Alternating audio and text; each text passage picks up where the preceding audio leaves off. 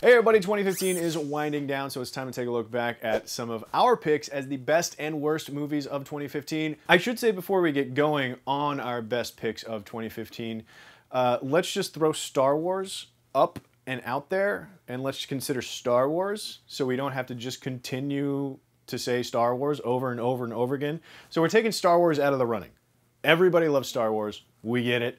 It's awesome. We'll talk more and more about it as the year goes on. But for right now, let's talk about other movies. We're starting with the best movies right now. Uh, so my favorite movie of 2015, that's really, really hard.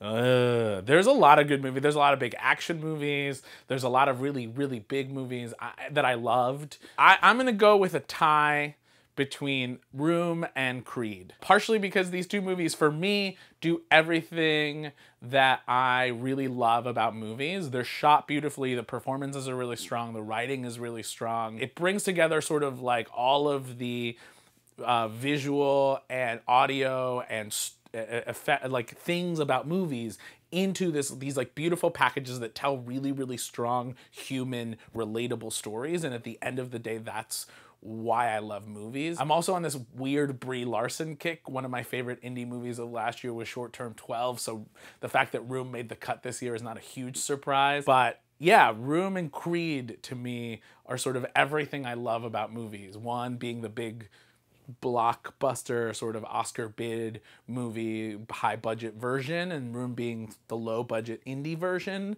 of those things. But if you haven't seen those movies you really really really should. But I there's still lots of big superhero things I loved so so my top pick of the year would have to be Ex Machina, and I can say that for sure because I just rewatched it a week ago and it totally holds up.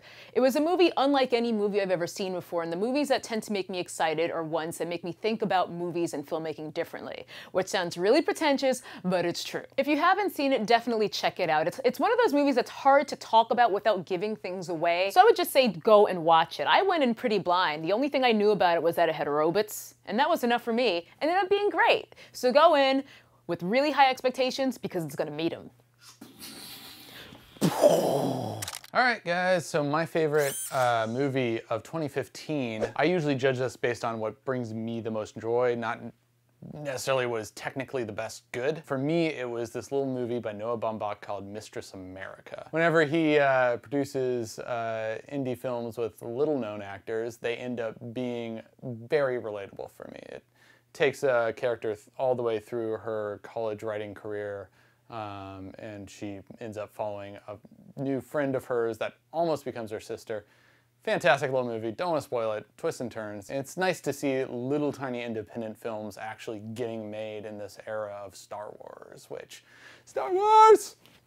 My pick for best movie of 2015, and, and I like to judge my favorite things based on how often I go back to them. It's the same with like my favorite album of the year, my favorite movie of the year, my favorite TV shows of the year. It's like how rewatchable or reconsumable is it? And for me, it's Mission Impossible Rogue Nation. Because it came out on iTunes not too terribly long ago, and I've watched it like a dozen times just in the past couple weeks. It's honestly a little ridiculous. It is structurally really sound, really simple, really clean, which is a, a feat when you consider that it's a Mission Impossible movie. It's funny, the tone uh, of it is, is humorous and heightened because it's a Mission Impossible movie, but there are also stakes that you can really feel. So it, it hit a sweet spot that is very, very hard to hit. Mission Impossible, Rogue Nation, favorite movie of 2015. All right, guys, those were just some of our picks for the best movies of 2015. Let us know what you think about it. What was your favorite movie of 2015? What was your favorite moment in any movie?